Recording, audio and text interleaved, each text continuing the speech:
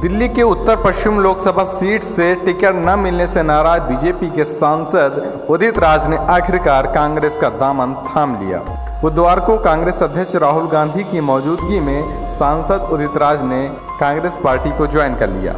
Party सूत्रों के मुताबिक उदित राज ने बुधवार को सुबह कांग्रेस अध्यक्ष राहुल गांधी से मुलाकात की, जिन्होंने पार्टी में उनका स्वागत किया है।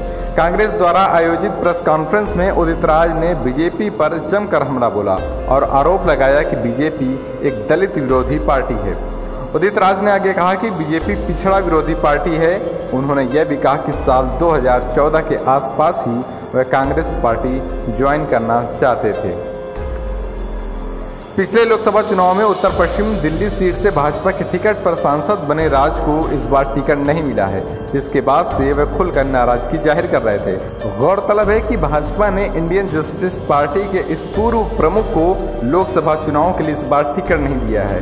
भाजपा ने उनकी जगह गायक हंस राजहंस को टिकट दिया है। ऐसे में एक सवाल है कि कांग्रेस पार्टी आखिरकार उदित राज को किस लोकसभा सीट से इस बार चुनाव लड़वाती है? आइए हम आपको सीधे प्रेस कॉन्फ्रेंस की तरफ़ लेकर चल रहे हैं, जहाँ पर उदित राज भाजपा पर हमला बोल रहे हैं। कांग्रेस में मैं तेरह चौदह से, बारह तेरह चौदह से ही आना चाहता था। राहुल जी इस बात को जानते हैं। परिस्थितियाँ ऐसी रही। मैं उन लोगों में से नहीं हूँ कि कोई चीज़ मैं झूठ बोल। अगर बीजेपी टिकट वहाँ से देती तो मैं वहाँ से लड़ता। लेकिन इसके वजह से एक बहुत बड़ी चीज़ निकल करके देश में आई, कि बीजेपी कितना दलित विरोधी है।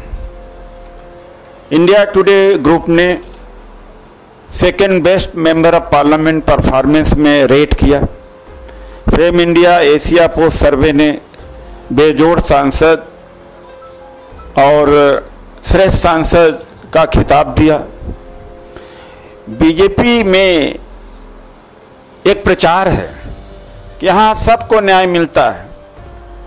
कार्यकर्ताओं को उस हथियार से बड़ा डिपर बड़ा धौस जमाते हैं कि इंटरनल सर्वे जो कहेगा होगा। ये इंटरनल सर्वे इन्होंने चार पाँच एजेंसियाँ हायर करी हैं। उसमें भी दिल्ली में मोस्ट पॉपुलर और, और विनिंग सीट वही निकल के आ रही थी। इनके पास क्लियर कट एक ही सीट निकल के आ रही थी। नॉर्थ वेस्ट आप चेक कर लीजिए इनके इंटरनल सर्वे को अगर गलत निकल जाए।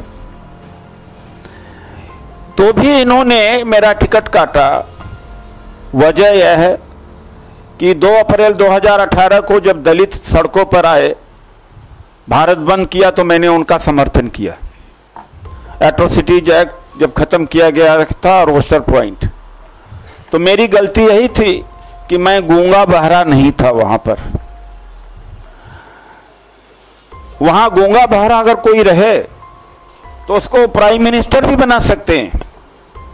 बीजेपी आरएसएस प्राइम मिनिस्टर भी बना सकती, मैं उदाहरण के साथ। 20 मई 2014 को माननीय रामनाथ कोविंद जी बायोडाटा लेकर के मेरे यहाँ आए।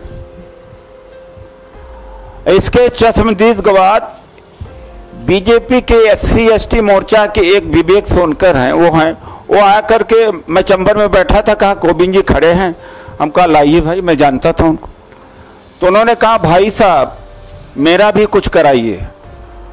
कोविंद जी को इस लायक भी नहीं समझा था 2014 में कि उनको टिकट देते, जबकि वो टिकट चाह रहे थे।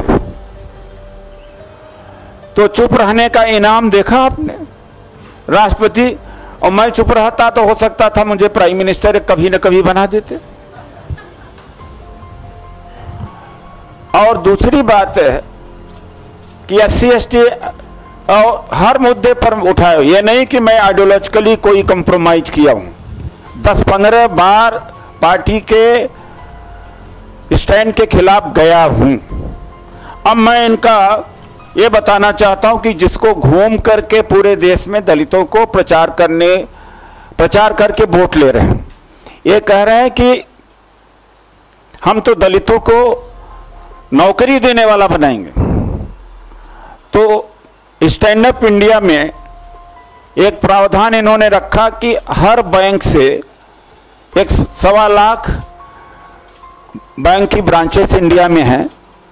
एक दलित को लोन मिलेगा ताकि वो दलित लोगों को रिक्रूट कराए और जॉब दे, खुद आगे बढ़े और एक महिला को इंडियन एक्सप्रेस के सर्वे के हिसाब से केवल छः परसेंट लेकिन अभी वही प्रचार कर रहे हैं कि हम तो रोज़गार बनाने वाला बता दिया दलितों को, ये केवल छः परसेंट अर्थात यह पूरा प्रोपोगंडा और धोखा है।